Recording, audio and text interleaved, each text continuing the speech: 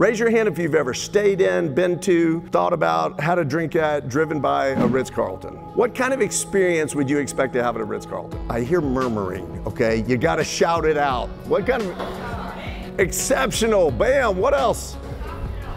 Top shelf. Okay, now, does it matter if you're at a Ritz Carlton in Hong Kong or if you're at one in Dallas, Texas or one in Naples, Florida? It doesn't matter. No, consistent across the footprint.